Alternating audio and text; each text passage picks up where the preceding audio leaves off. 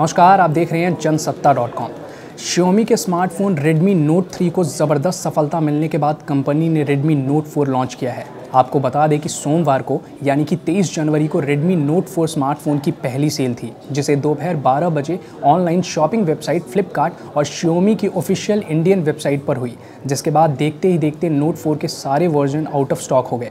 Phone की शुरुआती कीमत नौ हज़ार नौ सौ निन्यानवे रुपये है, जिसे तीन शानदार शेड्स गोल्ड डार्क ग्रे और ब्लैक में उतारा गया है। आपको बता दें कि फ़ोन को फिर से अगली सेल में ख़रीदा जा सकेगा। इसके लिए आपको शियोमी की ऑफिशियल वेबसाइट एम आई पर जाना होगा। फ़ोन के अगर कुछ खास फीचर्स पर गौर करें तो इसमें 5.5 इंच का फुल एचडी डिस्प्ले है, चौंसठ जी स्टोरेज है और इकतालीस सौ की बैटरी है। आपको बता दें कि श्योमी के फ़ोन को ख़रीदना ग्राहकों के लिए हमेशा से मुश्किल भरा रहा है।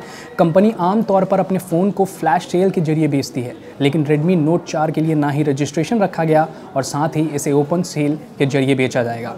फ़िलहाल के लिए इतना ही। देश और दुनिया की अधिक खबरों के लिए देखते रहिए जनसत्ता डॉट कॉम।